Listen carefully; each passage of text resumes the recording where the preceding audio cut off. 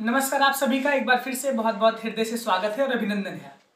इलाहाबाद विश्वविद्यालय के समस्त छात्र छात्राएँ इस समय बहुत ऐसी स्थिति में चल रहे हैं कि उनके ऊपर सबसे बड़ा सवाल इस समय चल रहा है कि परीक्षाएँ इलाहाबाद विश्वविद्यालय के किस मोड पर होंगी? उनकी परीक्षाएँ ऑफलाइन होंगी कि उनकी परीक्षाएँ ऑनलाइन होंगी?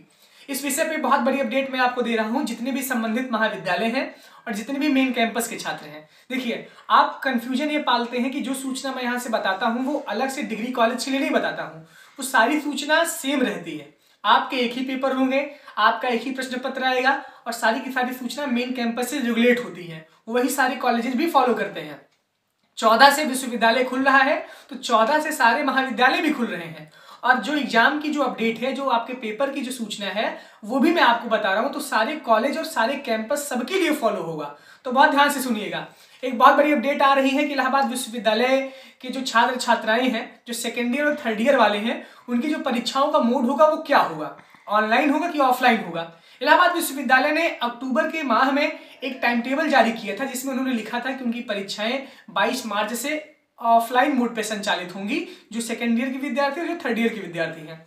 प्रथम वर्ष वाले परेशान न हो, उनकी परीक्षाएँ अभी कम से कम चार महीने तो नहीं होंगी, जो फ़र्स्ट ईयर वाले हैं। उनका चार महीने का कम से कम सत्र चलेगा तो फ़र्स्ट ईयर वाले एग्ज़ाम पे पहली बात आप चिंता न करिए। आप सीधे चौदह को ही, चौदह को आपका विश्वविद्यालय खुल रहा है। एग्जामिनेशन कमेटी की जो बैठक है, सबसे बड़ी अपडेट आज मैं गया था खुद। कंट्रोलर सर के पास गया था, सारे अधिकारियों से मैं लगातार मिल रहा हूँ। आपके लिए जो बेहतर हो पा रहा है, मैं वो करने का प्रयास कर रहा हूँ। साथ ही साथ आप सबके साथ हर एक स्थिति, परिस्थिति में मैं खड़ा हूँ। बातें हो रही हैं, चर्चाएँ लगातार चल रही हैं निवेदन किया जा रहा है। साथ ही साथ उनको ये भी कहा जा रहा है कि हम छात्र जो समुदाय है, एक बड़ी मॉब के हित में आप निर्णय लीजिए जिससे कि किसी भी छात्र का नुकसान ना हो। एग्जामिनेशन कमेटी की जो बैठक है, वो ग्यारह तारीख को साढ़े ग्यारह बजे से नॉर्थ हॉल में है। यानी कि 11 फरवरी को साढ़े ग्यारह बजे से सारे के सारे एग्जामिनेशन कमेटी में जितने भी सदस्य हैं, यानी कि वाइस चांसलर से लेकर के एग्ज़ाम कंट्रोलर से लेकर के डीएसडब्ल्यू से लेकर के सभी फैकल्टी के डीन और जितने भी एग्जामिनेशन कमेटी के सदस्य हैं, वो सारे उस बैठक में उपस्थित रहेंगे और ऑनलाइन और ऑफलाइन पे जो पेज आपके फंसा हुआ है, जो आप इतना दिमाग इस पे लगा रहे हैं, उसका निर्णय भी 11 तारीख को लगभग साढ़े बारह से एक बजे तक आ जाएगा। जो भी निर्णय होगा मैं आपको यहाँ से बताने का काम करूँगा। आप उसके लिए चिंता मत करिए। आपके साथ गलत कुछ नहीं होगा। आपके लिए जो बेहतर होगा वही किया जाएगा। लेकिन इलाहाबाद विश्वविद्यालय का ये जो स्टैंड है, अभी ऑफलाइन परीक्षा पे स्टैंड बना हुआ है। क्योंकि ऑनलाइन के लिए उनके पास इतने सारे प्लेटफॉर्म नहीं है। ना ही उनके पास ऐसा मैन्युफैक्चर है कि ऑनलाइन एग्ज़ाम इतने बड़े स्तर पे आयोजित करवाई जाए। क्योंकि पिछले साल उन्होंने एक बार करवा के देखा था, उसमें उनका पूरा सिस्टम फेल हो गया था। जैसे भी होगा, हम सभी कोशिश कर रहे हैं कि आपकी जो परीक्षाएँ हैं वो ऑनलाइन हो, लेकिन अगर परीक्षाएँ आपकी ऑफलाइन होती हैं तो उसके लिए भी आपको ऐसी सुविधा दी जाएगी, उसके लिए आपको ऐसी रियायत बरती जाएगी जिससे कि आप वो भी एग्ज़ाम आसानी से दे सकें। लेकिन अभी कोई ऐसा निर्णय नहीं है और हम लोगों का प्रयास ये है कि आपका एग्ज़ाम ऑनलाइन मोड पर हो। अगर जो भी निर्णय आता है, उसके बाद हम लोग अपनी समीकरण, अपनी रणनीति बनाएँगे। लेकिन अभी आप लोग सिर्फ़ वेट करिए। ग्यारह तारीख को साढ़े ग्यारह बजे से एग्जामिनेशन कमेटी की बैठक है। उसी में सारे दूध का दूध, पानी का पानी हो जाएगा। तो बहुत दिमाग लगाने की आवश्यकता नहीं है, ना ही बहुत परेशान होने की आवश्यकता है। हम सब इलाहाबाद विश्वविद्यालय के छात्र हैं।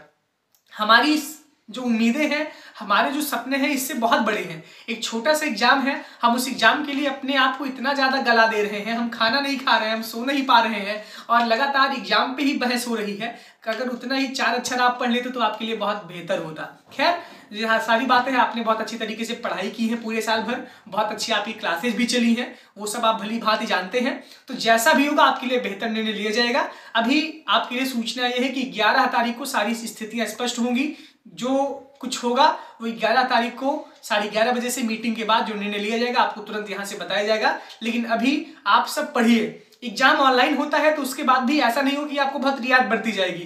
पैटर्न भी बदल दिया जा सकता है। इतना भी नहीं है, क्योंकि जब ओपन बुक एग्ज़ाम होगा तो फिर सारी की सारी चीज़ें बहुत नॉर्मल चलेगी, बहुत नॉर्मलाइजेशन होगा उसमें।